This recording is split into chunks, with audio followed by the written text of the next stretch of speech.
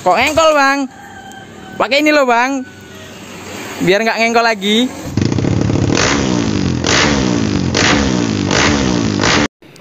Assalamualaikum warahmatullahi wabarakatuh guys Di video kali ini gua akan mereview dan memberi tips cara pemasangan aki motobat 6,5 ampere guys Oke guys jadi ini adalah uh, aki bawaan KLX BF uh, bermerek USA uh, dengan 6,3 ampere guys. Sedangkan yang ini adalah motobat motobat dengan uh, kapasitas 6,5 ampere guys. Jadi uh, lebih besar yang ini ya guys ya.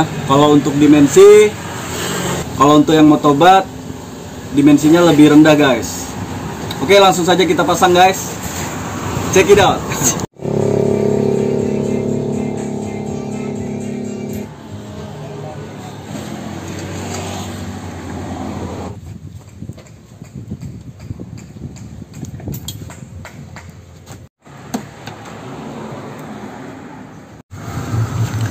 Oke guys, jadi kita mulai copot guys.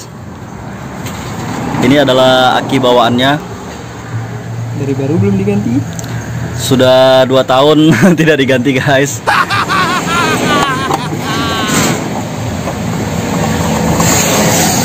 Kita buka pakai kunci T ukuran 8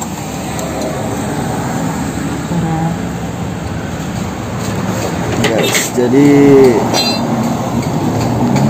bawaan KLX adalah Yuasa 6,3 ampere oke okay. uh, copot guys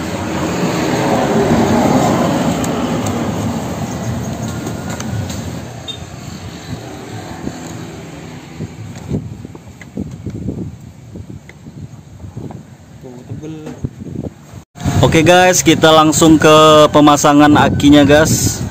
Oke. Okay.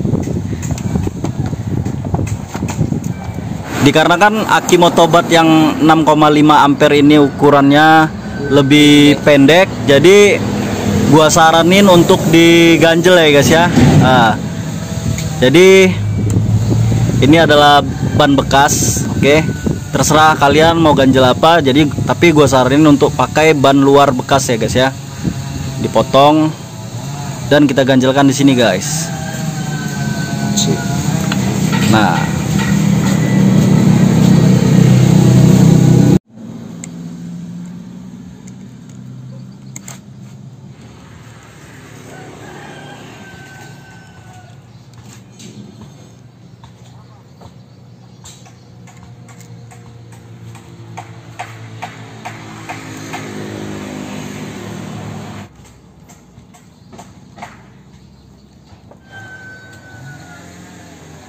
Lupa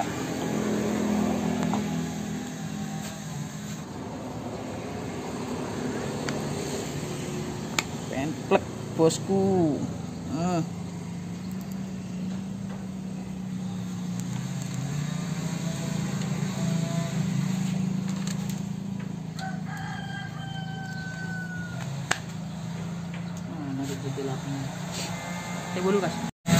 kita tutup kembali guys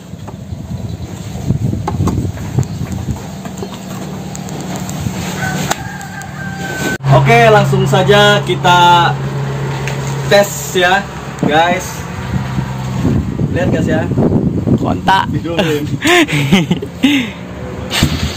Wais. kali pijit guys kita ulangi ya guys ya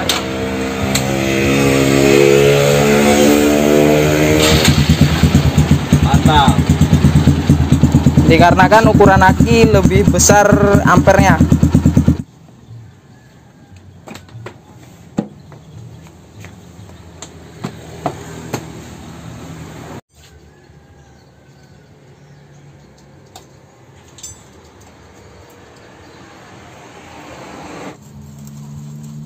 Congkoron di tirate, isin ko.